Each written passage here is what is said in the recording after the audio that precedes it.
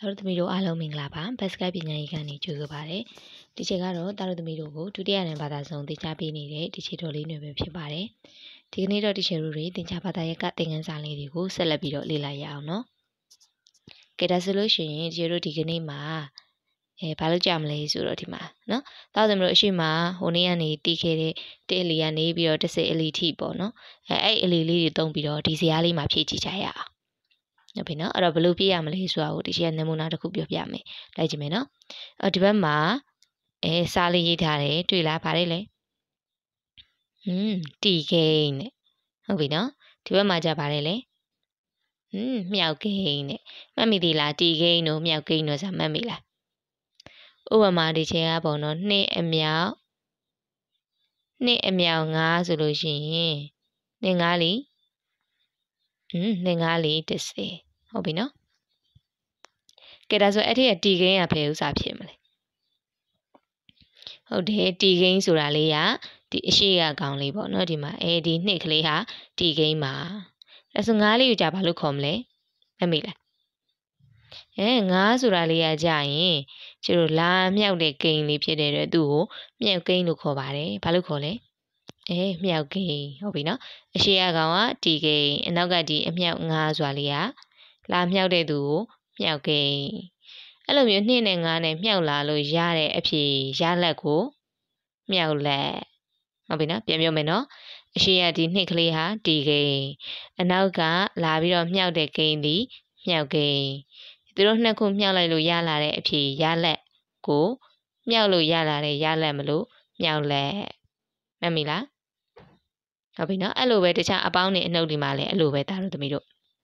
နော်ဥပမာနှစ်အပေါင်း3ဆိုရင်နှစ်ကလေးဟာတီကိန်းအပေါင်း3ဆိုတာကြရင်လာပြီးပေါင်းတဲ့ကိန်းဖြစ်တဲ့အတွက်ကြောင့်ပေါင်းကိန်းဟုတ်လားအစောတော့မြောက်တာမို့မြောက်ကိန်း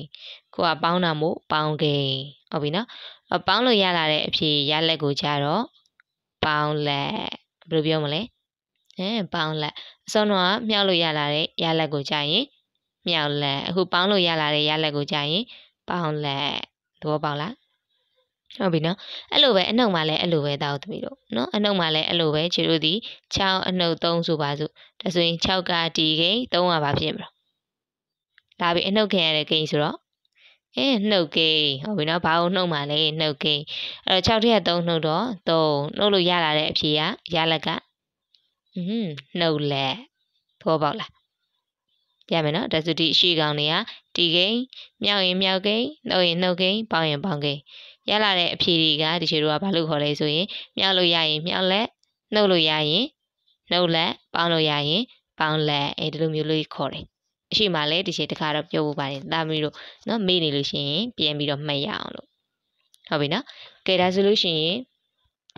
ကဲဒါဆိုလို့ရှိရင်ဒီချေတို့ကဒီဇာတ်လေးကိုကြည့်ပြီးခါချက်မှာပေါ့နော်ဒီ ကွက်ကလေးတွေဖြည့်ကြတာပေါ့နော်အဖြည့်ကြတယ်ဆိုတော့ तू ကဒီဘယ်ဘက်မှာပေးထားတဲ့ဒီ down လိုက်ဟာတွေကတီဂိမ်းမှာတဲ့ဟုတ်ပြီနော်ဒီမှာဒီဘက်က down လိုက်ဟာတွေဒီတီဂိမ်းဒီဘက်ကအလျားလိုက်ဟာတွေဒီမြောက်ဂိမ်းဟုတ်ပြီနော်အဆိုလိုချင်တာကဥပမာဒါတို့သမီးတို့ကတစ်တလီပေါ့နော်ဒီတစ်ကလေးနဲ့ဒီတစ်ကလေးနဲ့ဆိုရင်တစ်တလီဒီလိုဖတ်ရမယ်ဟုတ်ပြီနော်တစ်တလီဒီလိုဖတ်ရမယ်သဘောပေါက်လား ရမယ်နော်တကယ်လို့ဒီနှစ်ကလေးနဲ့ဒီအပေါ်ကတစ်ကလေးနဲ့ဆိုရင်နှစ်တလီနှစ်ကဒီဂိမ်းတစ်ကမြောက်ဂိမ်းဆိုရင်နှစ်တလီဟုတ်ပြီနော်တကယ်လို့6ကလေးနဲ့ဒီအပေါ်ကတစ်ကလေးဆိုရင်6တလီအဲအဲ့လိုဖတ်ရမယ်ရမယ်နော်အဲဒီအပေါ်ဟာတောက်ဒီနားလေးလွယ်အောင်ပြောရင်တော့မြောက်ဂိမ်းဟာအလီတွေပေါ့ ဟုတ်ပြီနော်ဒီမှာအဲဒါဆိုရင်ပြောချင်ရင်တော့6ရေဒီဘက်ကတီကိန်းက6အဲ့တော့ရေးကြည့်လိုက်မယ်ပေါ့နော်တီကိန်းက6မြောက်ကိန်းက9ဆိုရင်ဘာခေါ်မလဲอืม6 5လီအဲ့လိုခေါ်ရမယ်နော်6 5လီအဲ့ဒီလိုပြောတာ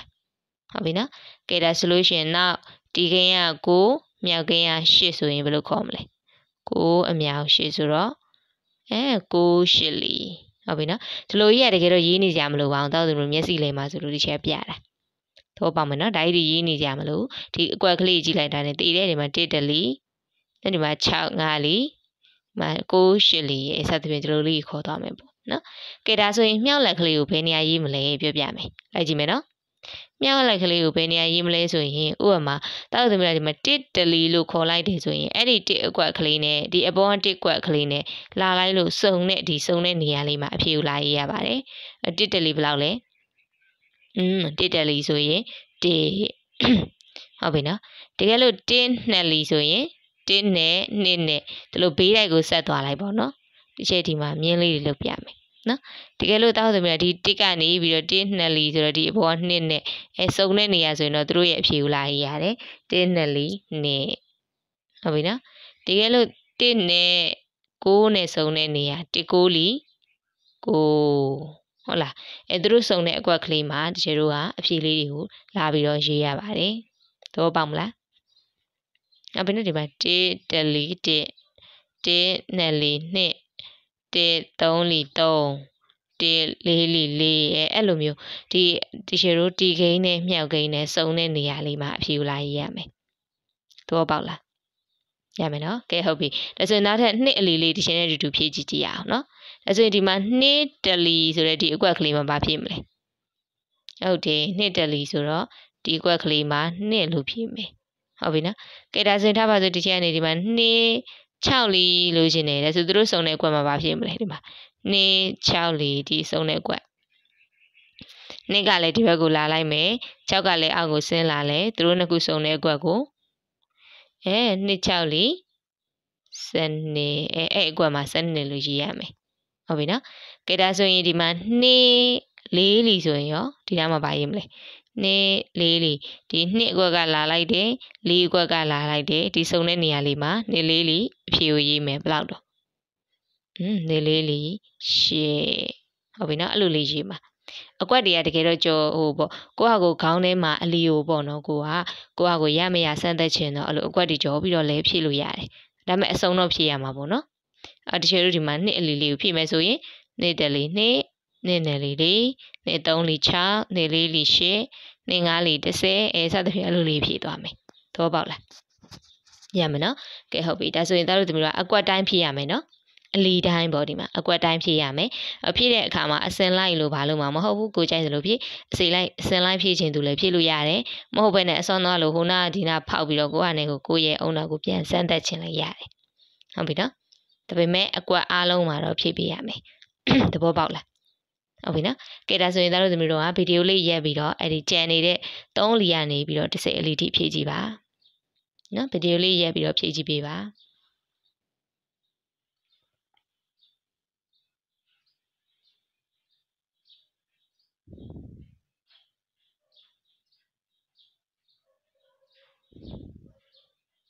ကဲဟုတ်ပြီဒီလောက်ဆိုရင်တော့ဖြည့်ပြီးပြီလို့ထင်ပါတယ်เนาะအဲ့တော့မပြီးသေးဘူးဆိုတော့ဗီဒီယိုမဖွင့်နိုင်အောင်ပေါ့နော်ပြီးပြီဆိုရင်တော့ဗီဒီယိုလေးဆက်ကြည့်လို့ရပါပြီကဲဟုတ်ပြီဒါဆိုလို့ရှိရင်ခြေတို့ဒီမှာ3လီဖြည့်ထားတဲ့အဖြေလေးတွေတိုက်ကြည့်ကြည့်အောင်3တလီအဲ3 3နှစ်လီ6 3 3လီ9 3လေးလီစနစ်3 5လီ15အဲစသဖြင့်เนาะဒီမှာမှန်ရလားလီလေးပြန်စီကြည့်အောင်ကိုယ့်အကို နော်ပြီးရင်ဒီမှာ4 4 5 4 6 4 9 4 8 4 9 4 10 4ပေါ့ဟုတ်ပြီနော်အဲဒါတို့သမီးတို့ကကိုဖြေလေးတွေမှန်ရဲ့လားနော်အိမ်မှာရှိတဲ့လူကြီးမိဘနဲ့အပြန်အလှန်ပြောရင်းနဲ့စေကြည့်ကြည့်ပါဟုတ်ပြီနော်စစ်ပြီးပြီဆိုရင်တော့ဘာလို့မလဲဆိုရင်ဒီအလီလေးတွေကိုကြည့်ပြီးတော့ဒါတို့သမီးတို့ကဘာတွေထူးခြားချက်တွေတွေ့လဲကြည့်ပေးပါဦးနော်ဘာတွေထူးခြားချက်တွေတွေ့လဲကြည့်ပေးပါ ဥပမာပေါ့ဒီချမ်းနေပြီးဒီမှာပေါ့နော်နမူနာတစ်ခုပြောမယ်ဥပမာ1လီစရာခဏန်းလေးတွေကိုကြည့်လိုက်ပါ1 2 3 4 5 6 9 10 9 10ဟုတ်လား2လီစရာခဏန်းလေးကြည့်လိုက်ပါ2 4 6 8 10 12 14 16 18 20 3လီစရာဆိုရင်3 6 9 12 15 18အဲစသဖြင့်အဲ့လိုအလီစရာတစ်ခုတိုင်းတစ်ခုတိုင်းမှာဘာတွေထူးခြားချက်ရှိလဲကြည့်ပေးပါอืม တစ်လီစရာဆိုရင်ဘာထူးခြားလဲတစ်လီရဲ့မြောက်လက်အဖြေတွေပေါ့နော်အဲ့ဒါတွေကြည့်တော့ဘာထူးခြားလဲဟုတ်တယ်ဘာထူးခြားလဲဆိုရင်အဲဒီနေ့3 5 6 9 10 9 10ဟုတ်တယ်ဒီမှာတစ်ခုနဲ့တစ်ခုဒီဘယ်လောက်စီကွာနေလဲအဲတစ်စီတစ်စီတစ်စီကွာနေတယ်ဟုတ်ပြီနော်တစ်ဒီမှာတလီဆိုတဲ့ဟာကတစ်ပဲနှစ်လီဆိုရင်နှစ်ပဲတစ်ခုစီတစ်ခုစီတိုးတိုးသွားတယ်အဲဆိုနှစ်လီဆိုရင်ရောဘယ်လောက်စီတိုးသွားလဲနှစ်လီ အဲနှစ်လီဆိုရင်နှစ်တလီတုံးကနှစ်ပဲနှစ်လီကြတော့၄သုံးလီကြတော့6သူတို့ဟာအလီတစ်ခုနဲ့တစ်ခုဘယ်လောက်စီကွာကွာသွားလဲအဲနှစ်စီနှစ်စီနှစ်စီကွာသွားတယ်ဟုတ်ပြီနော်နှစ်အလီစရာဆိုရင်နှစ်စီကွာသွားတယ်အဲဆိုခုနှစ်အလီစရာဆိုရင်ရောဘယ်လောက်စီကွာသွားလဲဟွန်းခုနှစ်အလီစရာဆိုရင်ခုနှစ်ခုနှစ်ခုနှစ်ခုနှစ်ခုနှစ်ခုနှစ်စီကွာသွားတယ် ဟုတ်ပြီနော်ဒါကြောင့်မို့သားတို့သမီးတို့ကဒီအလီဇီယတာအရှိမှလည်းသိခဲ့ပြီးပါပြီနော်ဒီချေတို့ကဒီပေါ့နော်တအုပ်စုမှာနှစ်ခုပါတယ်နောက်ထပ်တအုပ်စုတို့ရင်အဲ့ဒါတလီတိုးတာပဲနော်အဲ့တော့တလီတိုးတိုင်းသူ့ရဲ့တအုပ်စုမှာပါတယ်အရေးအတွက်ဖြစ်တဲ့နှစ်ကလေးဟာအတူတူသွားတာပေါ့ဟုတ်ပြီနော်ဒါကြောင့်မို့ဒီမှာဆိုရင်ဒီချေတို့ကဒီမှာ3လီဇီယာလေးကိုပြန်ကြည့်ကြည့်အောင်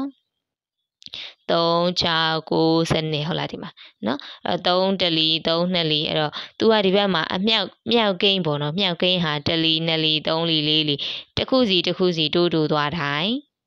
အောက်ကခဏဘယ်လောက်စီတိုးတိုးသွားလဲ3ကနေ6ဆိုတော့အဲ3တိုးသွားတယ်6ကနေ9ဆိုတော့လေ3တိုးသွားတယ်9ကနေ12ဆိုတော့လေ3တိုးသွားတယ်ဟုတ်ပြီနော်အဲ့တော့တလီတိုးသွားတိုင်းတလီတိုးသွားတိုင်းမြောက်ကိန်းလေးတွေတစ်ခုတစ်ခုတစ်ခုတိုးသွားတိုင်း အဲဒီအောက်ကမြောက်လက်ကလေးတွေကသူ့ရဲ့ဒီတီကိန်းရှိတဲ့အတိုင်းနော်3 3 3 3တိုးတိုးတိုးတိုးသွားတယ်။ဆိုတော့တီကိန်းက2ဆိုရင်2 2 2 2တိုးတိုးသွားတယ်။တီကိန်းက1ဆိုရင်1 1 1 1တိုးတိုးသွားတယ်။သဘောပေါက်လား။ရမယ်နော်ဒါတောက်သမီးတို့အရှိတုန်းကတီးခဲ့တဲ့ဟာပါပဲနော်။ ကဲဟုတ်ပြီအဲ့လိုပဲတောက်သမီးတို့တီးထားတဲ့အဖြေတွေမှန်ရဲ့လားပေါ့နော်ဒီဟာကြီးပြောတာဟုတ်ရဲ့လားဆိုတာတခြားအလီတွေမှာလည်းကြည့်ကြည့်ပါအောင်ဒီမှာဆိုလို့ရှိရင်ဒီချက်ကအဲဒီမှာရှစ်အလီလေးပြန်ပြီးတော့စစ်ကြည့်ကြည့်အောင်နော်အဲ့တော့ရှစ်အလီလေးဆိုရင်ရောအဲ့လိုဟုတ်ရဲ့လားရှစ်တလီနဲ့ရှစ်နှစ်လီနဲ့ဒီဘယ်လောက်ထိကွာလဲပေါ့နော်ဘယ်လောက်ဘယ်လောက်တိုးသွားလဲပြန်စစ်ကြည့်ပါရှစ်ကနေ16ဖြစ်သွားတယ်16ကနေ24 24ကနေ32 32ကနေ40စသဖြင့်တိုးသွားတော့ဘယ်လောက်စီတိုးတိုးသွားလဲ อืม8စီတိုးသွားတယ်ဟုတ်ပြီနော်။ဘာကြောင့်လဲဆိုတော့တီကိန်းကရှစ်ဖြစ်တဲ့အတွက်ရှစ်အလီဖြစ်တဲ့အတွက်ရှစ်ရှစ်ရှစ်ရှစ်စီတိုးသွားတယ်နော်ဆိုလိုချင်တာကအုပ်စုတစုမှာရှစ်ခုစီပါတယ်ရှစ်ခုစီပါတယ်ရှစ်ခုရှစ်ခုရှစ်ခုအဲတစုတိုးသွားတိုင်းရှစ်ခုတိုးမယ်ဟုတ်ပြီနော်ဒီသဘောတရားကတို့တို့သမီးတို့အရှိကအလီမာကနေကတည်ခဲ့ပါပြီရမယ်နော်ဟုတ်ပြီကဲဒါဆိုလို့ရှိရင်ဒီချက်မေးကြည့်မယ်ပေါ့နော် အဲဒါလေးကိုမသွားခင်မှာဒီချက်မေးကြည့်မယ်ဒါဆိုရင်တို့သမီးတို့ကိုရှစ်ချောက်လီနဲ့အဲပေါ့နော်ရှစ်ငါးလီနဲ့အဖြေချင်းပေါ့ဒီနောက်မှာရှိတဲ့အဖြေချင်းဘယ်လောက်กว่าမယ်ထင်လဲကဲစဉ်းစားကြည့်ပါရှစ်ချောက်လီနဲ့ရှစ်ငါးလီနဲ့ဘယ်လောက်กว่าမယ်ထင်လဲအဖြေချင်းစဉ်းစားကြည့်ပါရှစ်ချောက်လီရဲ့အဖြေဟာရှစ်ငါးလီရဲ့အဖြေထက်ဘယ်လောက်ကြီးမယ်ထင်လဲอืม ဟုတ်တယ်ရှစ်ကြီးတယ်ကဲဘယ်လိုစဉ်းစားလဲဘယ်လိုစဉ်းစားကြอืมရှစ်ချောက်လီကဟုတ်တယ်48ရှင်းကားလေးက40အဲ့တော့ဘယ်လောက်ကြီးတော့ဟုတ်တယ်ရှစ်ကြီးတယ်ဒါဆိုဒီချင်းကဘုံတော့သိချင်တယ်အဲ့လိုမျိုးအဖြေကြီးကိုမစဉ်းစားနေဘူး86လီ48ပါရှင်းကားလီ40ပါဆိုတဲ့အဖြေကြီးကိုမတွေးနေဘူးဟုတ်ပြီနော်ဒီ48တီ40တွေကိုမတွေးနေဘဲနဲ့86လီနဲ့ရှင်းကားလီနဲ့ဟာနော်အဲ့ တော့ဘလို့ကြီးလဲသိချင်တယ်ဆိုရင်ဘလို့လုပ်ရင်ကောင်းမလဲဘလို့စဉ်းစားရင်ကောင်းမလဲอืมစဉ်းစားကြည့်ပါဦးအကိုရလာတဲ့ကိုစဉ်းစားမိတဲ့ဟာကိုတောက်သမီးကဘေးမှာရှိတဲ့လူကြီးကိုပြောကြည့်ပေါ့နော်อืมအဲ့ဘယ်လိုလဲဆိုတော့တောက်သမီးဒီမှာပေါ့6လီနဲ့9လီဒီဘယ်လောက်กว่าလဲ6လီနဲ့9လီอืมတလီกว่าတယ်အဲတလီกว่าတိုင်း8လီမှာဆိုဘယ်လောက်ဘယ်လောက်စီกว่าမှာ ဟုတ်တယ်ရှေ့ရှေ့ရှေ့ရှေ့စီกว่าမှာလေဒါကြောင့်မို့ဒီမှာ6လီနဲ့9လီဟာတလီกว่าတဲ့အတွက်ကြောင့်သူတို့ရဲ့ကြားထဲမှာ8กว่าမယ်အဲဒီလိုမျိုးသဘောပေါက်လို့ရတယ်နားလည်လားဟုတ်ပြီနော်ကဲဒါဆိုရင်ဒီချက်တခြားဟာလေးမေးကြည့်မယ်တကယ်လို့ဒါဆိုရင်4 5လီနဲ့ဟုတ်ပြီနော်4 6လီနဲ့ဟာဘယ်လောက်กว่าမလဲအဖြေချင်းပေါ့5လီနဲ့6လီဘယ်နဲ့လီกว่าလဲอืมတက်လီกว่าတယ်4 5လီရဲ့အဖြေကို 4 6လီဖြစ်ချင်ဒီချက်တို့ဘာထက်ပေါင်းလိုက်တာလဲဟုတ်တယ်5ထက်ပေါင်းလိုက်တာလေအော် sorry 4ထက်ပေါင်းလိုက်တာလေဟုတ်လားအဲ4လီဖြစ်တဲ့အတွက်သူတို့ဒီတစ်ခုနဲ့တစ်ခုလေးလေးလေးလေးกว่าသွားတယ်เนาะဒါကြောင့်မို့၄၅လေးရဲ့အဖြေသည်၄၆လေးရဲ့အဖြေထက်၄ပို့ပြီးတော့နည်းတယ်၄၆လေးကတော့၄ပို့ပြီးတော့များတယ်သဘောပေါက်လားရမယ်နော်ကဲဟုတ်ပြီဒါဆိုရင်နောက်တစ်ခုလောက်မေးကြည့်ကြည့်မယ်ဒီက 3လေးလီရဲ့အဖြေနဲ့3 5လီရဲ့အဖြေဆိုရင်ဘယ်လောက်กว่าမလဲอืม4လီနဲ့5လီဆိုတော့ဘယ်နှလီกว่าဟဲ့တလီกว่าတယ် ဟုတ်ပြီနော်သုံးလီချင်းရတော့တူတူပဲအဲ့ဒါတော့တူရမှာပေါ့နော်ဒါတော့သူတို့အရှိမှလည်းသိပါတယ်ဟုတ်လားသုံးလေးလီနဲ့သုံးငါးလီဆိုတော့တစ်လီกว่าတယ်အဲ့တော့သုံးလီမှာတစ်လီกว่าတော့ဘလောက်ကနန်းလေးဘလောက်ထက်ထိုးရမှာအဲသုံးထက်ထိုးရမယ်အဲ့တော့သုံးငါးလီက သူ့ထက်သုံးကြီးမယ်သုံးလေးလီဟာသူ့ထက်သုံးငယ်မယ်တော့ပေါ့လားရမယ်နော်ဒါကြောင့်မို့သားတို့သမီးတို့ကဒီအလီစရာအလီမှာဆိုလို့ရှိရင်တလီတိုးသွားတိုင်းတလီတိုးသွားတိုင်းတီဂိမ်းလေးရဲ့အတိုင်းတိုးတိုးသွားတယ်တစ်လီဆိုတစ်တစ်တစ်တစ်တိုးသွားတယ်သုံးလီဆိုရင်သုံးသုံးသုံးသုံးတိုးသွားတယ်ခုနှစ်အလီဆိုရင်ခုနှစ်ခုနှစ်ခုနှစ်ခုနှစ်အဲဒီလိုလေးတိုးသွားတယ်ရမယ်နော်ကဲဟုတ်ပြီဒါဆိုဒီချိန်တို့နောက်ထပ်တစ်ခုကြည့်ကြည့်အောင်နော်အဲဆိုသားတို့သမီးတို့အလီစရာလေးကိုကြည့်ပြီးခါချက်မှာ နော်အဲဘာတွေတွေ့သေးလဲပေါ့နော်ဘာတွေတွေ့သေးလဲကြည့်ကြည့်ပါအောင်နော်အဲဒီမှာတောက်သမီးတို့အပြင်မှာတွေ့ရလဲရှိမယ်ပေါ့နော်ဟုတ်လားပြီးရင်ဒီမှာဒီတငယ်ချင်းလေးထွန်းထွန်းကဘာတွေ့ထားလဲဆိုတော့တဲ့နော်သူကဒီမှာထွန်းထွန်းကတဲ့မြောက်လက်ဆက်နေရတဲ့အလီနှစ်ခုကိုတွေ့တယ်တဲ့နော်ဒီမှာဒီနှစ်ကနေပြီးတော့6အထိပေါ့နော်ဒါဆိုရင်နှစ်6လီစနေဒီမှာ6နှစ်လီစနေ ဟုတ်ပြီနော်အဲ6နှစ်လီကလည်းစနေဖြစ်နေတယ်တဲ့နှစ်6လီကလည်းစနေဖြစ်နေတယ်တဲ့ဟုတ်လားကဲသားတို့သမီးတို့ဘာတွေတွေ့လဲအလီစရားလေးကိုပြန်ကြည့်ပါအောင်နော်ဘာတွေတွေ့လဲอืมဘာတွေတွေ့လဲပြန်ကြည့်ပေးပါอืมเนาะအလီတိုင်းကြီးဟာเนาะတကယ်လို့ဒီလိုမျိုးပေါ့เนาะဒီမှာ1အလီဆိုရင်1 2 3 4 5 6 9 10 9 10ဟုတ်လား နော်ဒီလိုဘေးတိုင်းဆိုလဲအဲ့လိုပဲအဲ့လိုပဲဒီအပေါ်အောက်ကိုလည်းသွားကြည့်လိုက်ရင်ဒီမှာ1 2 3 4 5 6 9 10 10တွေ့လားအေးဟုတ်ပြီနော်အဲ့လိုပဲဒါဆိုနှစ်အလီတိုင်းလေးကိုသွားကြည့်ပေးပါဦးနှစ်အလီတိုင်းဟုတ်တယ်ဒီမှာနှစ်လေး6 8 10 sorry ဒီရှေ့အယောင်လေးယူလိုက်မယ်နော်အဲ့ဒီမှာနှစ်လေး6 8 10စနစ်စလေးအဲဒီလိုမျိုးဟုတ်ပြီနော်ဒီလိုအပေါ်အောက်ကိုကြည့်ကြည့်ပါအောင်ဟုတ်ရဲ့လားနှစ်လေး6 8 10အဲအတူတူပဲဖြစ်နေတယ်တော့ပေါ့လားနော် နှစ်အလီဆိုလို့ရှိရင်ဒီရှေ့တို့တွေတီခင်းရဲ့နေရာအလျံလိုက်ကိုပဲသွားကြည့်ကြည့်မြောက်ကင်းရဲ့နေရာဒေါင်လိုက်ကိုပဲသွားကြည့်ကြည့်ခနန်းတွေမြောက်လက်တွေဟာအတူနေတာကိုတွေ့ရတယ်ဟုတ်ပြီနော်အဲဒါဆိုတခြားလီတွေရောစီကြည့်ပါအောင်ကဲဒါဆိုတခြား9လီလေးကိုစီကြည့်ကြမယ်ဒီမှာ9လီလေး9 10 15 20 25ဘာလာပါညာဟုတ်လားကဲဟုတ်ပြီဒါဆိုရင်ဒီအပေါ်က9နေရာကိုလည်းစီကြည့်ပါအောင်ဒီ9နေရာอืม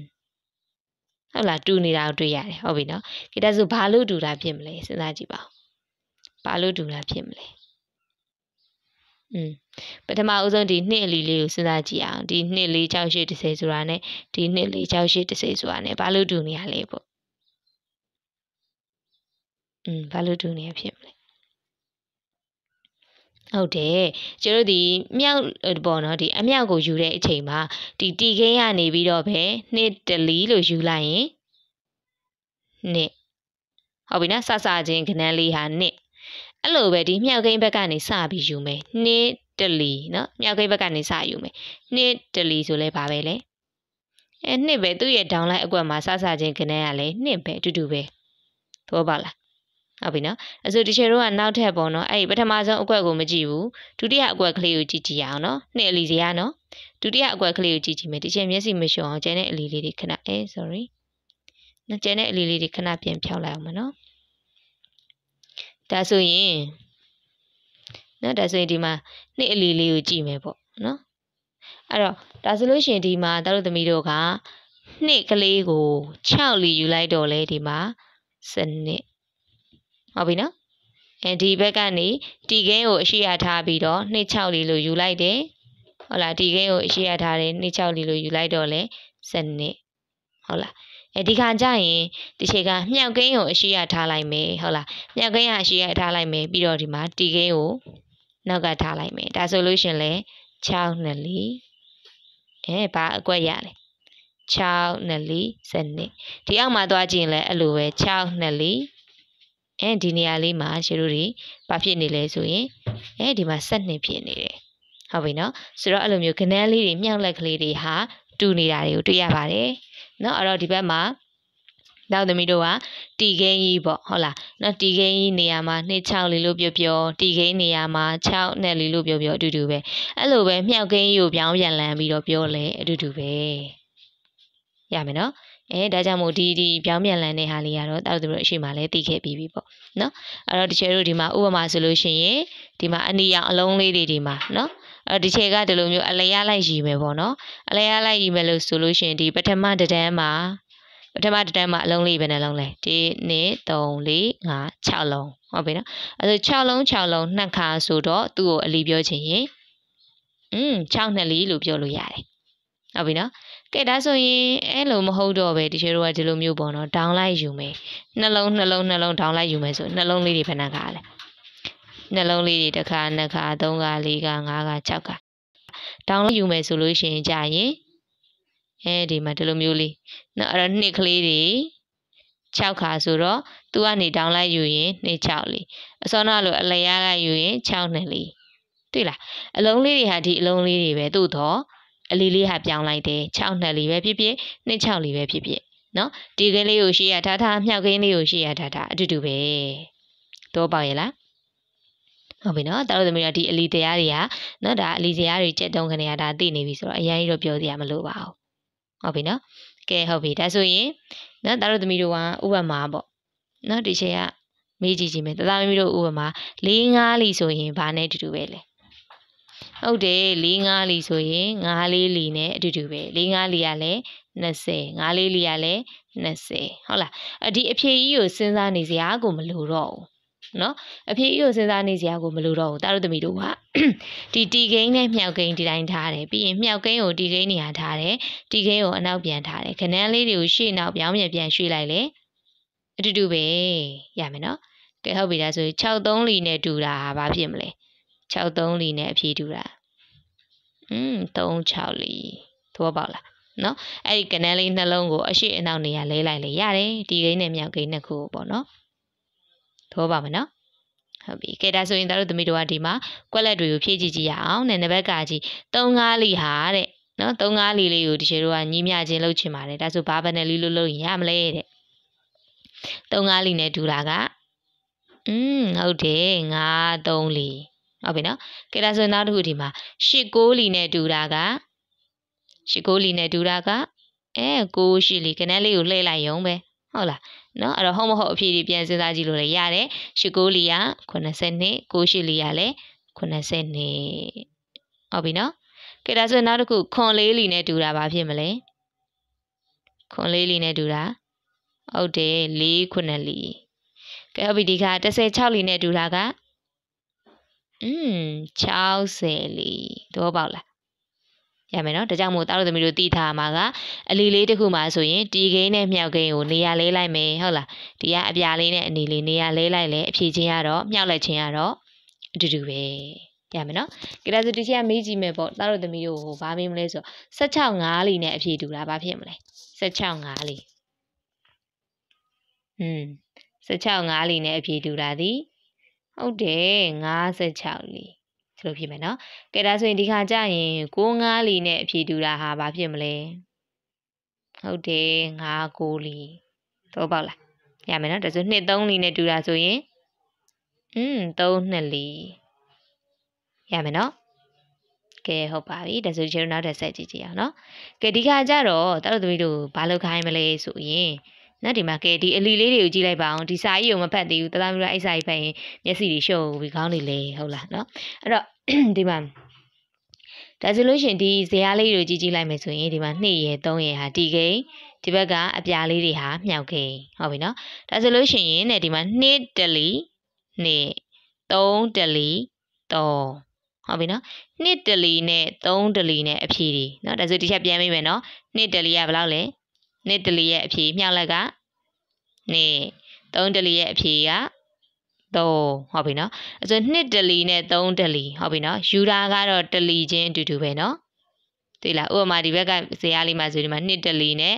3တလီအဲအဲ့ဒီအဖြေနှစ်ခုကိုဒီချေတော့ပေါင်းကြည့်မယ်ကဲဒီမှာ2တလီက2 3တလီက3အဲ့အဖြေနှစ်ခုကိုပေါင်းကြည့်လိုက်ပါ2နဲ့3နဲ့ပေါင်းอืมငါဟုတ်လား ရမယ်နော်ကဲဟုတ်ပြီငါဒါဆိုလို့ရှိရင်တချို့တို့ကနောက်ထပ်ပေါ့နော်ဒီဟိုရာလေးကိုပေါင်းကြည့်ကြည့်အောင်ဒါဆိုဒီမှာတလီချင်းပေါင်းပြီးပြီဆိုရင်ဒီခါကျရင်နှစ်လီချင်းပေါင်းကြည့်ကြည့်ရအောင်ဟုတ်ပြီနော်ဒီမှာအဲနှစ်လီချင်းပေါင်းကြည့်မယ်အလီဒူရာချင်းပေါင်းကြည့်ပါနော်မြောက်ကိန်းဒူတယ်ဒီမှာဒီမှာနှစ်လီဆိုရင်ဒီဘက်မှာလည်းနှစ်လီအလီဒူရာချင်းပေါင်းကြည့်ကြမယ်နော်ကဲဒါဆိုရင်ဒီခါကျရင်ဒီချေတော့2လီကိုယူမယ်2လီကိုကြည့်မယ်အဲဆိုရင်2နှစ်လီက အဲ4 3နှစ်လီက6အဲ့တော့4နဲ့6နဲ့ပေါင်းလိုက်တော့อืม4နဲ့6နဲ့ပေါင်းတော့30ဟုတ်ပြီနော်ကဲဒါဆိုနောက်ကဟာလေးရောပေါင်းကြည့်ပါအောင်ကဲ3လီချင်း3လီချင်းပေါင်းကြည့်မယ်နှစ်3လီနဲ့3 3လီပေါင်းကြည့်ပါအောင်ဘယ်လောက်ရမလဲနှစ်3လီက6 3 3လီက9 6နဲ့9နဲ့ပေါင်းอืม15 ဟုတ်ပြီနော်6နဲ့9နဲ့ပေါင်းတော့15ကဲဒါဆိုနောက်တစ်ခါ2 4လီနဲ့3 4လီကိုပေါင်းကြည့်မယ်2 4လီက8 3 4လီက12ဒါဆို8နဲ့12နဲ့ပေါင်းอืม8နဲ့7နဲ့ပေါင်း20ဟုတ်ပြီနော်ကဲအဲ့လိုလေးပေါင်းကြည့်ပါအောင်တောက်သမီးတို့နော်ဒီမှာသူ့ရဲ့ရလာတဲ့အဖြေတွေကဒီမှာပြီးထားပြီးသားပဲအဲ့ဒီအဖြေလေးနှစ်ခုစီကိုပေါင်းကြည့်မယ်နောက်တစ်ခုကဒီမှာ30နဲ့15နဲ့ပေါင်း နေ9လီ3 5လီအဖြေချင်းပေါင်းကြည့်တော့ဘယ်လောက်ရလဲ30နဲ့15ပေါင်းတော့ဟုတ်တယ်25ဟုတ်ပြီနော်ကဲဟုတ်ပြီနောက်အခါ7နဲ့18ပေါင်း30ဟုတ်ပြီနော်နောက်ခါ14နဲ့21နဲ့ပေါင်းอืม35နောက်ခါကျရင်16နဲ့24နဲ့ပေါင်းဟုတ်တယ်ဒီဘက်မှာဆိုရင် 40ပြီးရင်45ဒါသမီးတော့ကိုယ်စာအုပ်ထဲမှာပေါင်းကြည့်နော်ပြီးရင်50ရလားအဖြေလေးရလားဟုတ်ပြီနော်ကဲဒီအဖြေလေးတွေဒီရှိတော့ဘယ်လိုလုပ်လိုက်တာอืมနှစ်အလီတွေเนาะဒီမှာနှစ်အလီတွေရဲ့အဖြေနဲ့သုံးအလီရဲ့အဖြေတွေကိုဘာလုပ်လိုက်တာအဲပေါင်းလို့ရလာတာเนาะဥမာနှစ်တလီနဲ့သုံးတလီချင်းပေါင်းလိုက်တယ်နှစ်ငါးလီနဲ့သုံးငါးလီချင်းပေါင်းလိုက်တယ်သဘောပေါက်လား ဟုတ်ပြီနော်ကဲဒါဆိုအဲ့ဒီအဖြေတွေကိုကြည့်ကြည့်ပါအောင်ကဲဖတ်ကြည့်ပါအောင်ဘာတွေတွေ့လဲ9 10 15 20 25 30 35 40 45 50တဲ့ကဲဒါဆိုအဲ့ဒီအဖြေတွေကဟုတ်ပြီနော်စဉ်းစားကြည့်ပါအဲ့ဒီအဖြေတွေကတီရှယ်တို့ပေါင်းလိုက်တာကဒီအပေါ်ကနှစ်အလီလေးတွေဒီမှာနှစ်တလီနှစ်နဲ့သုံးတလီသုံးစွာလေးပေါင်းလိုက်တယ်အဲ့ဒီအဖြေတွေဒီဘာလီရဲ့မြောက်လက်တွေနဲ့တူနေလဲကဲစဉ်းစားကြည့်ပါ9 10 15 20ဆိုတာကြီးဒီ ဘာတလီ900လဲဟုတ်လားဒီကွက်လက်ပေါ့နော်ကွက်လက်2လီ30ကွက်လက်3လီ15ကွက်လက်4လီ20ကွက်လက်5လီ25ဆိုတာအဲ့ဒီကွက်လက်နေရာမှာဘာဖြစ်မယ်ထင်လဲတီကိန်းပါမယ်ထင်လဲစဉ်းစားကြည့်ပါอืมဟုတ်တယ်ဒီခင်းကငါးဖြစ်မယ်သဘောပေါက်လားဟုတ်ပြီနော်ဆိုလိုချင်တာကတတို့သမီးတို့ဒီပေါင်းတဲ့အခါမှာကိုခွဲလိုက်တဲ့ကဏ္ဍလေးတွေနော်တတို့သမီးတို့အပေါ်မှာခွဲလိုက်တဲ့ကဏ္ဍဟာ2နဲ့3နဲ့ဒီမှာ နော်အလုံးလေးတွေဒီမှာနှလုံးနှလုံးစီအောက်မှာ3လုံး3လုံးစီအဲဒါဆိုအဲ့နှလုံးနဲ့3လုံးနဲ့ပေါင်းကြည့်လိုက်တော့အဲ9လုံးအဲ့တော့9တလီ9နဲ့လီ9 3လီဆိုတဲ့အဖြေတွေရတယ်ဒီလိုပြောတာသဘောပေါက်လားဟုတ်ပြီနော်ဥပမာသားတို့သမီးတို့ကိုတချေတို့အရှိမပြောခဲ့တဲ့အတိုင်းပဲဥပမာပေါ့နော်ဥပမာနေဆက်နယ်လီကိုလိုချင်ရင်တချေတို့ဘယ်လိုလုပ်ကြည့်လဲအရှိမတချေပြောခဲ့တော့ဟုတ်တယ်ဒီစနစ်ကလေးကိုတချေတို့က30နဲ့2နဲ့ခွဲကြည့်လိုက်တာလေမှတ်မိလား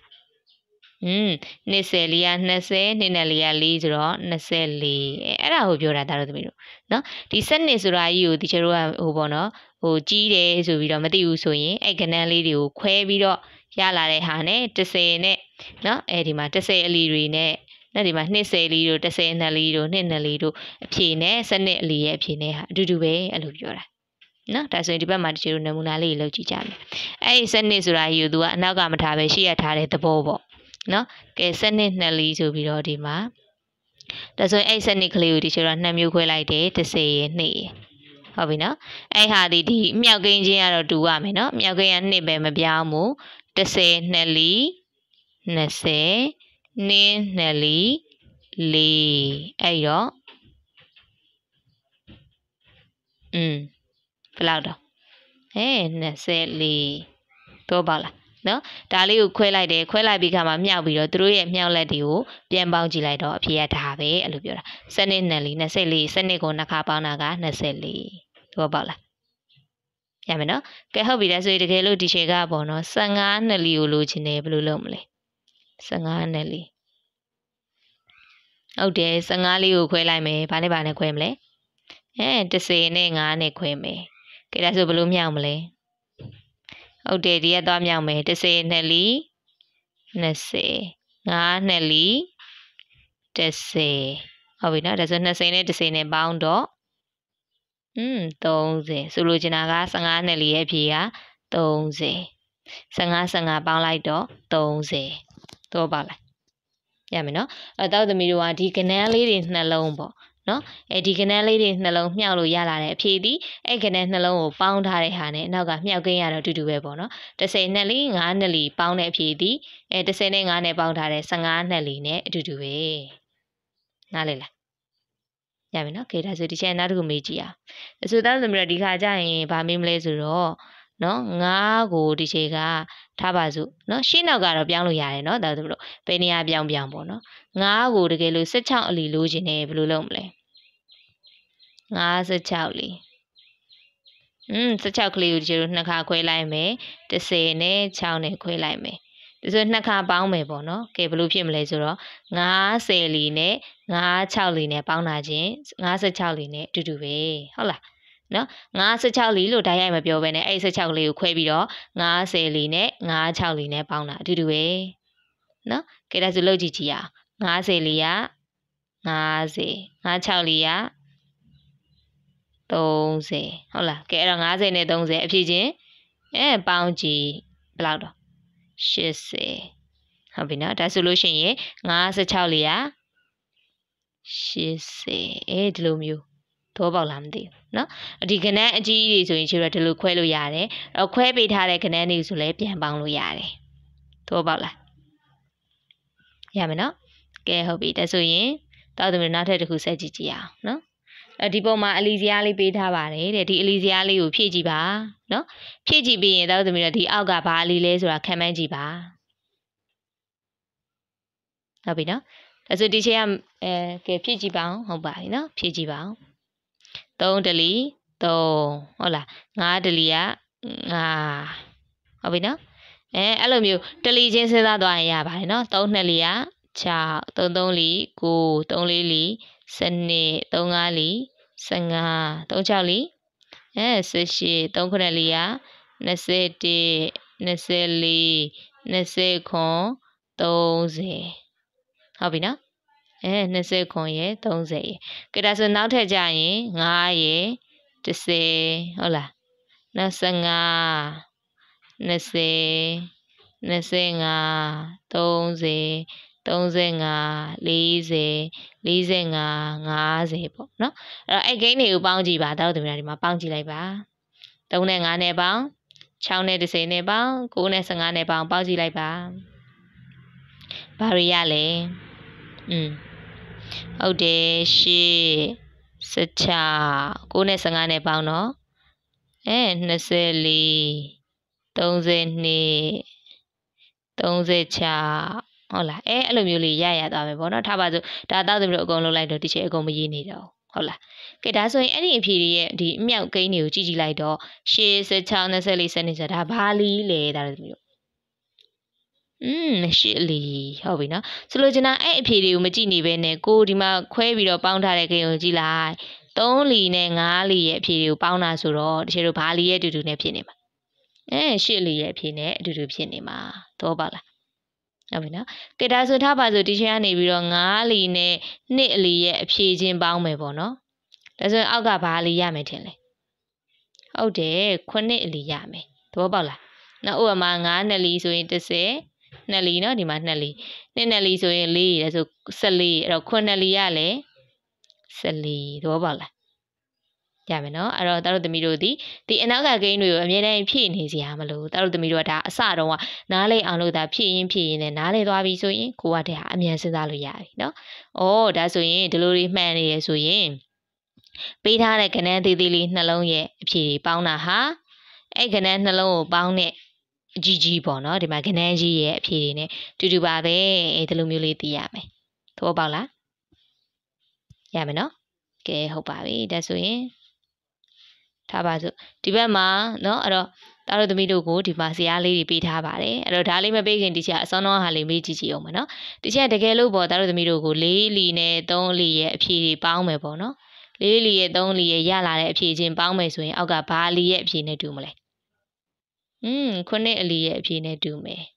ဟဟုတ်ပြီနော်အဲဆို2အလီနဲ့5လီရဲ့အဖြေချင်းပေါင်းမယ်ဆိုရင်အောက်ကရလာတဲ့အလီဒီဘာလီဖြစ်မလဲအဲ9အလီဖြစ်မယ်သဘောပေါက်လားရမယ်နော်ကဲဟုတ်ပြီဒါဆိုရင်ဒီလေးချိန်ကလေးလုပ်ကြည့်အောင်နော်ကဲအဲ့တော့တဲ့နံပါတ်ကကြီးမှာတဲ့9အမြောက်ကိုခွန်9လီဟာတဲ့ခွန်8လီထက်ကွက်လက်ပိုးကြီးပါတယ်တဲ့ကဲစဉ်းစားကြည့်ပါ ခွန်9လီဟာခွန်8လီထက်ကွက်လက်ပိုးကြီးပါတယ်ဘယ်လိုစဉ်းစားလဲစဉ်းစားကြည့်ပါอืมဟုတ်တယ်အဲ့တော့အဖြေတွေကိုဒီသားတို့သမီးတို့အဖြေလည်းတကယ်တော့စဉ်းစားလို့ရပါတယ်เนาะစဉ်းစားနေရတော့အမျိုးမျိုးရှိရသို့တော့အမြန်နည်းလေးသုံးလို့ရတယ်ဘယ်လိုစဉ်းစားလို့ရလဲအမြန်နည်းလေးအဲခွန်ကိုလီနဲ့ခွန်ရှစ်လီဆိုတော့ဘယ်နှလီกว่าလဲတလီกว่าတယ်ဟုတ်လား နော်အဲ့တော့တလီကွာတိုင်းတလီကွာတိုင်းဘလောက်တိုးမလဲသိချင်တယ်ဘာလီလည်းရှိရတီကိရဘာကြီးတော့အဲခွန်ကြီးဟုတ်ပြီနော်အဲ့ဆိုခွန်အလီမှာတလီကွာတိုင်းတလီကွာတိုင်းဘလောက်ကွာမှာလဲအဲခွန်ကွာမှာဒါကြောင့်မို့ဘလောက်ပူကြီးမှာတော့ခွန်ကိုလီယာခွန်ရှိလီထက်အဲခွနှစ်ပူကြီးမှာသဘောပေါက်လားရမယ်နော်ကဲဒါဆိုဒီချက်မေးကြည့်ကြည့်အောင်မယ်ဒါဆိုရင်တကယ်လို့ကိုကိုလီဟာကိုရှိလီထက်ဘလောက်ပူကြီးမလဲဘလောက်ပူကြီးမလဲ ဟုတ်တယ်ကိုးပိုကြည့်မယ်နော်သူ့ရဲ့တီကိန်းလေးကိုကြည့်မယ်နော်တီကိန်းကကိုးလီဖြစ်တဲ့အတွက်တလီတိုးတိုင်းတလီတိုးတိုင်းကိုကိုကိုကိုပိုကြည့်လာမယ်သောပါလားရမယ်နော်ဟုတ်ပြီကဲဒါဆိုရင်ဒီချေတို့တွေနောက်ထပ်သွားကြည့်ကြည့်ရအောင်ဒီခါကျတော့တဲ့86လီဆိုတာဟာတဲ့8အမြောင်9အပေါင်ဘယ်လောက်လဲတဲ့ကဲကြည့်ကြည့်ပါဟုတ်ပြီနော်86လီဆိုတာလေးဟာ8အမြောက်တဲ့9အပေါင်ဘယ်လောက်လဲတဲ့ อืมဟုတ်တယ်အဲ့တော့ဒီပုံစံလေးမှာဆိုတောက်တယ်ပြီးတော့အဖြေတွေဟိုပေါ့နော်တငယ်ချင်းတွေအမျိုးမျိုးထွက်ကြတယ်အဲ့တော့တချို့တငယ်ချင်းတွေကဘယ်လိုတွက်လဲဆိုတော့ဒီမှာနော်86လီယာ48တဲ့ဒီချေတဲ့ဟုတ်လား85လီယာအဲ40တဲ့ဒါဆိုအနောက်ကပေါင်းအောင်မှာကတဲ့8တဲ့အဲသူတို့ကဒီလိုတွက်တယ်ပေါ့နော်အဲအဲ့လို အဲ့လိုအတွက်လည်းမှန်ပါတယ်ဘာလို့ဆိုသူပေးထားတာကတချို့ကကနန်းနေရပေါ့နော်အမြောက်တွေအပေါင်းနေရဟိုလိုရောပြီးရေးထားတော့နော်အဲဒါမဲ့ဒီနေရာမှာဒါတော့သမီးတို့ဘယ်ဟာလေးကိုပေါ့အလွယ်သုံးလို့ရလဲဆိုရင်နော်ဒီချက်ဒီမှာပြောပြမယ်နော်ဒီမှာ86လီဆိုပြီးရေးထားတယ်အဲ့ဒါကြီးကိုမှဟိုဘက်မှာဒီကျတို့က8ဆိုပြီးတော့နော်အမြောက်ပေါ့နော်ဒါဆိုရင်ဒီဘက်မှာ9အပေါင်းနော်အဲ့ဆိုဘယ်လိုယူမလဲဆိုရင်ဒီမှာတောက်တယ်ဒီမှာ8 8ကတော့ဟုတ်တယ်8ပဲအဲ့ဆိုဒီအနောက်က6ကလေးပေါ့နော်ဒီမှာ အဲ6ကလေးကိုဒီချေတို့ကပြည့်အောင်ဒီမှာ9နဲ့ပါနဲ့အဲပေါင်းမလဲပေါ့အဲ့လိုခွဲလို့ရတယ်သဘောပေါက်လားနော်ခွဲလို့ရတယ်ဒီမှာနော်အဲ့တော့9နဲ့ပါနဲ့ပေါင်းမလဲပေါ့နော်ဒါဆိုရင်9နဲ့อืมတင်းနဲ့ပေါင်းမယ်အဲအဲ့လိုမျိုးယူလဲရတယ်နော်ဒါပေမဲ့ဒီပု္ပ္ပစာအကြရင်တော့ဂွင်းတွေပါတယ်ဒီလိုလေးဂွင်းလေးခတ်ထားရင်တော့ပို့ပြီးတော့တိကြတာပေါ့နော်ဟုတ်လားအဲ့တော့ဟိုလိုလိုဒီလိုလိုဖြစ်နေတော့တောက်တယ်ပြီးတော့ ဒီလိုမျိုးဖြေတဲ့သူလည်းမှန်တယ်ပြောလို့ရတယ်ဒီလိုဖြေတဲ့သူလည်းမှန်တယ်ပြောလို့ရတယ်နော်ဒါကြောင့်မို့သားတို့သမီးတို့ဒါမဲ့ဒီဟိုလက္ခဏာအရာကြည့်ရင်တော့ तू ကအရှင်လာတော့ရှင်ကားလီလို့အဖြေရပြီးမှပေါင်းတယ်ဆိုရင်တော့လေဒီလိုပေါ့နော်မဟုတ်ဘဲနဲ့အစောနှောင်းကတချို့တို့အရှိမလေ့လာခဲ့တဲ့နော်အရှိမလေးလာခဲ့တဲ့ဒီခဏန်းလေးတွေကိုခွဲပြီးတော့တေးသေးလေးတွေကိုခွဲပြီးတော့နော်မြှောက်တာဒီ6ဆိုတာကြီးကို9နဲ့1နဲ့ခွဲလို့ရတယ်ဆိုတာမျိုးနော်အဲအဲ့လိုမျိုးယူဆပြီးတွက်ပြန်ရင်လည်းရပါတယ်နော် အဲဒါအတန်းနေကြီးလာတဲ့အခါကျရင်တော့တာသမီးဒီကနန်းလေးတွေမှာဘေးကနေပြီးဘေးဟာကိုအရင်လုံးမလဲဆိုပြီးတော့အလိုနေခွဲလိုက်တာပေါ့နော်သူနဲ့သူနဲ့ကိုပေါင်းပါလားသူနဲ့သူနဲ့မြောက်ပါလားဆိုတာလေးခွဲလိုက်ရင်တော့ပူတိကြတာပေါ့နော်အခုကတော့တောက်သမီးတို့ကဘယ်လိုလုပ်လို့ရပါတယ်အဲ့တော့ရှစ်လို့ထဲတဲ့သူတွေလည်းမှန်တယ်လို့ပြောလို့ရသလိုတစ်လို့ပြောတဲ့သူတွေလည်းမှားတယ်လို့လည်းပြောလို့မရဘူးเนาะဒါနှစ်မျိုးစလုံးဖြစ်နိုင်နေတော့သောပေါက်လား နော်အဓိကအကြောင်းဆိုတော့နီလန်းကိုကြည့်ပေါ့နော်အဲဒီလိုယူလိုက်ရင်အရှိကရှင်၅လီကိုမြောက်ပြီးမှနောက်ကပေါင်းလိုက်တာဒါဆိုလို့ရှိရင်6ကလေးကို9နဲ့တင်နဲ့ခွဲလိုက်တာရတယ်အတူတူပဲနော်ဆိုလို့ကျွန်တော်ဒီအဖြေကိုကြည့်မယ်ဆိုရင်လည်းတချို့တို့ဒီမှာရှစ်နဲ့အနောက်က9နဲ့တင်နဲ့ခွဲလိုက်တော့ရှင်9လီ40နဲ့ရှစ်တလီရှစ်နဲ့ပေါင်းလိုက်တော့လေ48ပဲအဲ့လိုယူဆလဲရတာပေါ့ရမယ်နော် ကဲဟုတ်ပါပြီဒါဆိုရင်ဒီချိန်နောက်ထပ်တစ်ခုကြည့်အောင်နော်နံပါတ်1ကလေးမှာတဲ့တာတို့သမီးတို့မတွက်ဖဲနဲ့အဖြေတူတဲ့အမြောက်ကိုရှင်တွဲပါတဲ့သုံးကိုလေးကဘယ်လောက်ဆိုတာမစင်စားဘူးဟုတ်ပြီနော်အဖြေကိုမတွေးဘဲနဲ့သုံးကိုလေးနဲ့တူမှာဘာဖြစ်မလဲစဉ်းစားကြည့်ပါဦးဒီအောက်ကဒီအပေါ်ကအယောင်လေးနဲ့အောက်ကအယောင်လေးတွေတွေးရမှာပေါ့နော်အဲဒီအပေါ်ကသုံးကိုလေးနဲ့တူမဲ့အောက်မှာဘာရှိလဲဟုတ်တယ်တော့တာနော်ဟုတ်တယ်ဒီမှာ6 3လီအဲဘယ်လိုလုပ်လိုက်တာဘယ်လိုစဉ်းစားလိုက်လဲ ဟုတ်တယ်အလီတစ်ခုမှဆိုတချို့တို့ဒီတီကိန်းနဲ့မြောက်ကိန်းကိုနေရာချင်းလဲလဲအဖြေချင်းတူတူပဲဟုတ်ပြီနော်3ကိုလီလဲ20ခွန်9 3လီလဲ20ခွန်အတူတူပဲမို့နော်20ခွန်ဆိုတာကြီးကိုစဉ်းစားစရာကိုမလိုတော့ဘူးခဏလေးရှင်းနောက်ပြောင်းနေဟာကိုတွေးရုံပေါ့သဘောပေါက်လားโอเคကဲဒါဆိုနောက်တစ်လုံးကြည့်ကြည့်ရအောင်၄ခုနှစ်လေးရှိလားအဖြေတူတာရှိလား၄ခုနှစ်လေးအဲမရှိဘူးဒါဆိုသူ့ရဲ့အဖြေတူတဲ့အဖြေဆိုဘာဖြစ်မလဲဟုတ်တယ်ခွန်လေးလီဖြစ်မယ် ရမယ်နော်ကဲဟုတ်ပြီဒါဆိုလို့ရှင်နောက်တစ်ခု၄၅လီနဲ့တူတာဘာဖြစ်မလဲ၄၅လီဟုတ်တယ်၅လေးလီဟုတ်ပြီနော်ဒီမှာကနန်းလေးကိုချိန်လိုက်ရုံပဲโอเคဒါဆိုခွန်6လီနဲ့တူတာဘာဖြစ်မလဲခွန်6လီအဲ6ခုနဲ့လီသဘောပေါက်လားလွယ်လေးပဲဟုတ်ပြီနော် ကဲတော့ပါတယ်ကဲဒါဆိုသားတို့သမီးတို့ဒီနံပါတ်3မှာဘာလုပ်မလဲဆိုတော့တဲ့အောက်ပါမြောက်လက်များရှိတဲ့30ဆေးလီအတွင်းအလီများကိုရှာပါတဲ့နော်အသားသမီးတို့တင်ထားတဲ့1အလီကနေ30အလီထိထဲမှာမှရှေ့ရအောင်ဘာတွေမြောက်လို့ရလဲကဲစဉ်းစားကြည့်ပါအောင်ရှေ့ရအောင်ဘာတွေလုပ်လို့ရမလဲอืมဟုတ်တယ်1ရှေ့လီရှေ့နောက်ကောอืมနောက်ကောဘာတွေရလဲဟုတ်တယ်2လေးလီရှေ့ ဟုတ်ပြီနော်အဲ့လိုနှစ်ခုသိပြီဆိုတာနဲ့တောက်သမီးကဘာတွေစဉ်းစားလို့ရလဲဆိုတစ်ရှစ်လီဆိုတာဒီနောက်တစ်မျိုးဘာပြောလို့ရသေးလဲတစ်ရှစ်လီအဲရှစ်တလီနဲ့တူအောင်ပါပဲနှစ်လေးလီဆိုတော့ရောအဲလေးနှစ်လီနဲ့တူအောင်ပါပဲသဘောပေါက်လားနော်အဲ့တော့ကိုကကနန်းတစ်ခုအလီတစ်ခုကိုသိပြီဆိုရင်အဲ့ဒီတစ်ခုကိုပြောင်းပြန်လှန်လိုက်ရင်လည်းအတူတူပဲလေဟုတ်လားဒါကြောင့်မို့ရှေ့ရစေမဲ့အလီလေးတွေဒီမှာတချို့လေးခုရတယ်တစ်ရှစ်လီလည်းရတယ် ရှစ်တလီလည်းရတယ်နေလေးလေးလည်းရတယ်လေးနဲ့လေးလည်းရတယ်အဲအဲ့ဒါလေးကိုတန်းစီပြီးတော့ရေးယုံပဲသဘောပေါက်လားမသိဘူးနော်ဒီမှာဒီလေးခုပေါ့နော်အဲဒါတို့သမီးတို့ကတော့ဒီလိုအစဉ်တိုင်းရေးမယ်ဆိုရင်တရှစ်လီနဲ့ရှစ်တလီနောက်ပြီးလို့ရှိရင်နေလေးလီနဲ့အဲလေးနဲ့လေးအဲဒီလိုမျိုးလေးရေးပေးရမယ်နားလေလားရမယ်နော်ရှေ့ရစီမယ်နောက်တစ်ခါလည်းအဲ့လိုပဲဆက်ရှေ့ရစီမယ်အဖြေတွေပေါ့ နော်ဆက်ရှိရစေမယ့်အဖြေတွေဆိုရင်တာတို့တို့ကဘယ်အတွင်းစဉ်းစားရမလဲ1အလီကနေ10အလီအတွင်းဆက်ရှိရမယ့်အဖြေတွေစဉ်းစားရမယ်ကဲစဉ်းစားကြည့်ပြီးရေးကြည့်ပါဘာတွေရမလဲစဉ်းစားကြည့်ပါအောင်อืมဆက်ရှိရမယ့်ဟာတွေ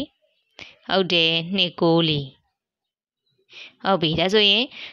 2 6လီဆိုရင်အဲဟုတ်တယ်6နှစ်လီလည်းပါမယ်ပေါ့နော်ကဲဟုတ်ပြီဒါဆိုနောက်ထပ်ကော ဟွန်းဟုတ်တယ်36လီကဲ36လီဆိုရင်နောက်ထပ်ဘာရသေးလဲဟုတ်တယ်63လီလည်းရတယ်သောပါလားဟုတ်ပြီနော်အဲ့တော့ကိုကအလီတစ်ခုရပြီဆိုရင်ခေါင်းစားစရာမလိုဘူးအဲ့အလီကိုပြောင်းပြန်လန်လိုက်ပေါ့ရမယ်နော်ဟုတ်ပြီဒါဆိုရင်နောက်ထပ်24ရအောင်ဘာတွေလုပ်လို့ရမလဲစစကြည့်ပါအောင်24อืมဟုတ်တယ်384 อืมရှစ်သုံးလီနောက်တော့ရောဘာတွေရှိသေးလဲဟုတ်တယ်၄6လီ၄6လီမှရရင်နောက်ကဘာဖြစ်မလဲอืม6လီလီတော်လိုက်တာရမယ်နော်ဟုတ်ပါပြီကဲဒါဆိုရင်အဲ့လိုမျိုးအလီတွေစဉ်းစားရမှာပေါ့နော်အဲ့တော့သားတို့သမီးတို့ကဘာလုပ်မလဲဆိုတော့ကဏန်းလေးတစ်လုံးကိုယူမယ် ကိုကြိုက်တဲ့ကနန်းပေါ့နော်ဒီအလီလေးတွေရဲ့ဇရားထဲမှာရှိတဲ့ကနန်းကိုကြည့်ပြီးတော့ဟေးရော့ဒီကနန်းရအောင်နေဘာလေးတွေလုပ်မလဲအဲ့လိုမျိုးလေးစောကြည့်ကြည့်ရမယ်နော်ဟုတ်ပါပြီကဲဒါဆိုရင်တော့ဒီဘက်မှာတော့သမီးတို့ကဘာလေးစဉ်းစားခဲ့မလဲဆိုတော့ဒီနံပါတ်၄မှာနော်ဒီပုံလေးတွေပေးထားတယ်နော်ဒီနံပါတ်၄နဲ့ဒီဒီပုတ်စာလေးနဲ့ပေါ့နော်ဒီမှာပုံလေးတွေပေးထားတယ်၄၅လီနဲ့၄၃လီတို့ပေါင်းပြီးတော့၄၈လီကိုရှာနိုင်တယ်ဆိုတာကိုရှင်းပြပါတဲ့ ၄၅လီနဲ့၄၃လီအဲဒီဘက်မှာဆိုရင်ဟုတ်လားနော်အဲ့တော့ဒီပုံလေးကိုကြည့်မယ်ကြည့်ပြီးတော့၄၅လီနဲ့၄၃လီတို့ကိုပေါင်းလိုက်ရင်၄၈လီကိုရှာနိုင်ပါတယ်ဆိုတာလေးရှင်းပြပါတဲ့အဲ့ဘယ်လိုရှင်းပြမလဲဆိုတာအိမ်ကနေကြိုးစားခဲ့ပါနော်ပြီးရင်တော့အဲ့လိုပဲဒီမှာဆိုရင်လည်း32လီရဲ့အဖြေကိုရှာပါတဲ့နော်အဲ့တော့32လီဆိုတဲ့အဖြေလေးကိုတောက်တယ်မလားအတိသွားပြီဆိုရင်အဲ့ဒီအဖြေရဖို့တခြားဘာတွေနဲ့မြောက်လို့ရသေးလဲတခြားဘာအမြောက်တွေရအောင်မလဲဆိုတာရောစဉ်းစားခဲ့ပါတဲ့ ရမယ်နော်အဲ့ဒါလေးကိုအိမ်ကနေလုပ်ကြည့်ခဲ့ပါအနောက်နေ့အတန်းချိန်ကြရင်တငယ်ချင်းတွေကိုဘာကိုဘယ်လိုတွေးခဲ့လဲဆိုတာတငယ်ချင်းတွေနဲ့ဆွေးနွေးကြမယ်ရမယ်နော်ကဲဟုတ်ပါပြီဒါဆိုရင်တော့ဒီနေ့သင်ခန်းစာဒီလောက်ပါပဲနောက်သင်ခန်းစာတွေမှာပြန်လည်ဆုံတွေ့ပါမယ်เนาะအားလုံးပဲဒီဟာလေးကိုကြိုးပြီးတွေးခဲ့မယ်เนาะ ဟုတ်ပါပြီကဲဒါဆိုအားလုံးပဲ bye